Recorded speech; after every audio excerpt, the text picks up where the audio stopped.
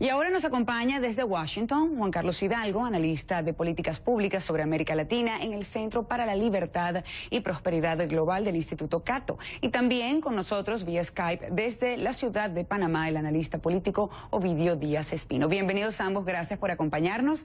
Y me gustaría comenzar con el señor Hidalgo. Eh, un gusto saludarlo nuevamente y le pregunto, ¿qué puede pasar en Venezuela a partir de esa fecha, del 5 de enero?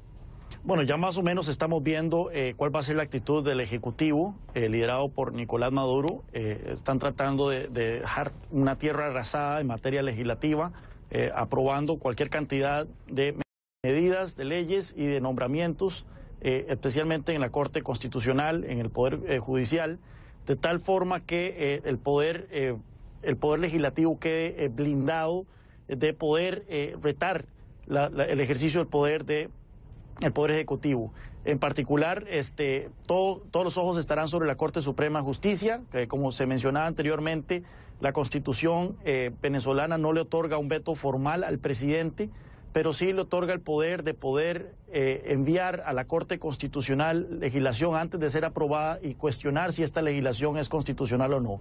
Y podemos ver que eso va a ser la herramienta favorita del oficialismo, enviar eh, legislación a la Corte Constitucional y si, los antecedentes son alguna guía, podemos saber de que la Corte Constitucional encontrará que la gran mayoría de las leyes que aprueba esta Asamblea Nacional son inconstitucionales y por lo tanto no entrarán en vigencia. Ahora, señor Díaz Espino, eh, si esto es así entonces y se utilizará, como dice eh, el señor Hidalgo, probablemente al Tribunal Supremo o en este caso a la parte, eh, pues, del Tribunal de Justicia, sobre todo, para vetar o tratar de, de bloquear algunas de las leyes que apruebe la Asamblea. ¿Cómo será este ambiente entonces y sobre todo la dinámica, no solamente a nivel nacional, sino también cómo se puede ver esto a nivel internacional? Obviamente muy mal. Eh, lo que estamos viendo es un intento por parte del gobierno eh, de debilitar la función y los poderes de la Asamblea eh, Nacional, como lo ha mencionado el colega Hidalgo, llenando la, la Corte Suprema de personas que favorecen al gobierno. El problema que vamos a tener es que si sigue esta confrontación entre los dos poderes del Estado, nada se va a poder hacer para cambiar la situación tan trágica de, los, de Venezuela. Eh, es, eh, la oposición ganó en gran parte con los votos del chavismo, porque el pueblo venezolano está cansado de la inflación más alta del mundo, de grandes problemas, y por tanto existen grandes expectativas de que todo va a cambiar. Sin embargo, para poder implementar ese cambio se necesita la cooperación de los dos poderes del Estado. Y si lo que tenemos es confrontación, lo que vamos a terminar viendo es un eh, desencanto con la función no solo del gobierno, sino de la oposición también. Ahí el que pierde definitivamente es el pueblo. Ahora, señor Hidalgo, y ya que estábamos hablando del cambio, o por lo menos lo acaba eh, de mencionar nuestro invitado, el señor Díaz Espino, le pregunto, el triunfo de Macri, pues en Argentina, lo que sucede en Brasil, la oposición gana la mayoría en la Asamblea de Venezuela, ¿considera usted que hay un cambio en la región y hasta dónde puede llegar? Visto también lo que esta mañana eh, pudimos presenciar con lo sucedido en Mercosur, donde donde a las palabras de Macri, pues la canciller de Venezuela, eh, pues respondió fuertemente. Así que se ve desde ya un, enfrentamiento entre estos dos países, sin embargo, pareciera haber un cambio en la región. Sí, bueno, aquellos gobiernos que han experimentado este, administraciones altamente responsables en materia eh, macroeconómica, estamos viendo sin, duda alguna eh, que las poblaciones en estos países se han, se han hartado y están apostando a un cambio político. Eh, los dos países con la mayor inflación de América Latina son Venezuela y Argentina. Usualmente la, inflación es la política que más castiga a las clases populares, más castiga a la clase media, y es ahí donde se puede canalizar el descontento eh, popular.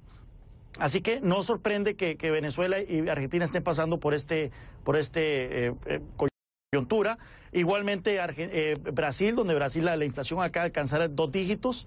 Eh, también la impopularidad de, la presidenta Dilma Rousseff está a niveles históricos desde la llegada a la democracia. Pero bueno, vemos que la izquierda en otros países eh, no está tan amenazada este, por lo menos en, Chile, por lo menos en Uruguay. Eh, vemos que incluso en Ecuador el presidente Rafael Correa acaba de enmendar la constitución para eliminar la, prohibición a la, reelección. En, México la izquierda se presenta todavía fuerte. Así que más que un ciclo regional, yo creo que son países particulares que llevaron las políticas eh, macroeconómicas a un extremo de responsabilidad y ahora están viendo las consecuencias electorales.